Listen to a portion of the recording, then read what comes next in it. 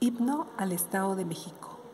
El Estado de México es una prepotente existencia moral, porciones de la prístina cuna de la gran libertad nacional.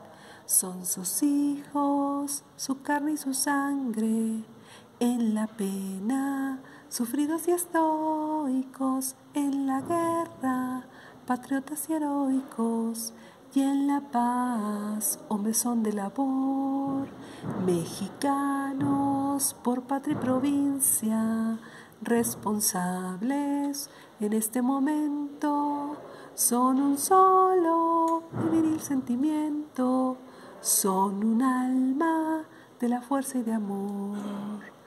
Cuando el mundo se agita en el odio, reventando en ciclones de guerra e inundando de horror de la tierra la antres fresca y prolífica paz. El país que ya supo de angustia semejante en el mundo tan vieja, a los pueblos en pugna aconseja el amor, el trabajo y la paz.